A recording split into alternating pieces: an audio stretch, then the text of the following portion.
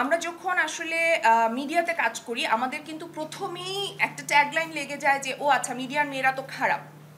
মেয়েরা বাসার বের হওয়া মানেই সে খারাপ কিন্তু তারপরে আবার মিডিয়ায় কাজ করে মানে হচ্ছে পুরা শেষ।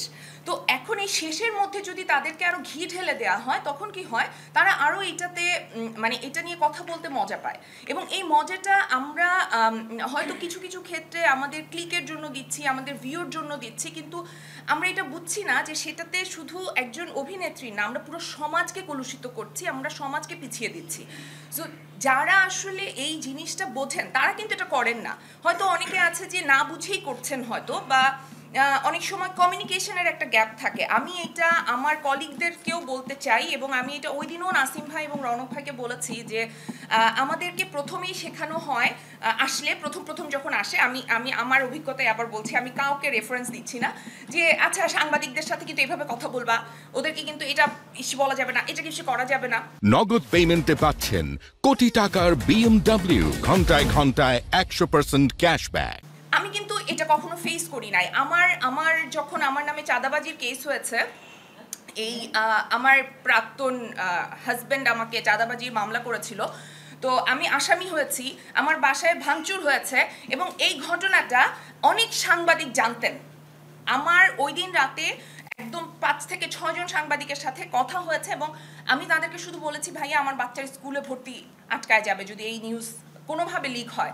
এবং আমি আমি আপনাদেরকে এটুকু বলতে পারি যে ওই নিউজ তিন বছরে কোনো জায়গায় কেউ লিখে নাই। সো আমি জানি যে আসলে কি পরিমাণে সাপোর্ট কারণ ওইটা তাদের জন্য তখন হট কেক যে আমার আমার বাসা ভাঙচুর হচ্ছে, আমার নামে চাঁদাবাজি মামলা হচ্ছে। আমি একটা ক্রিমিনাল কেসের আসামি হয়েছি।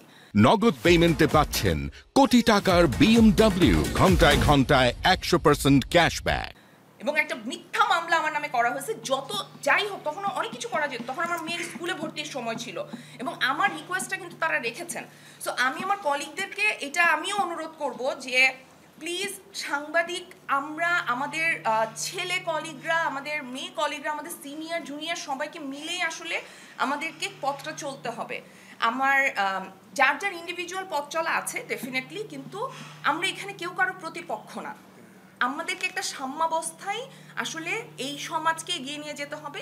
সমাজটা, দেশটা এগিয়ে গেলেই কিন্তু আমার মিডিয়া, আমার কর্মক্ষেত্র, আমার পরিবার, আমি ব্যক্তি বাঁধন আমি আমি এগিয়ে যেতে পারব। আমি যদি এই, এগুলো থেকে, এগুলোকেই পিছিয়ে রাখি, তখন কিন্তু আসলে আমাদের পক্ষে খুব বেশি আগানো সম্ভব হবে না। সো যখনই আসলে কোনো অভিনেতা অভিনেত্রী স্পেশালি আমি একদম স্পেসিফিকভাবে বলতে চাই যে কোনো অভিনেত্রীর উপরে যখন কোনো রকমের আসলে এটাকে কি বলব? মানে কোনো রকমের হ্যারাসমেন্টও হতে পারে। ধরেন একটা ঘটনা কিছু একটা হয়তো ঘটেছিল কিন্তু জিনিসটাকে যত কম কালার দিয়ে আসলে আমরা মানে এটা উপস্থাপন করাটা অনেক ইম্পর্ট্যান্ট যে আমরা কীভাবে উপস্থাপন করছি উপস্থাপনের উপরই কিন্তু মানুষের অনেক কিছু ডিপেন্ড করে।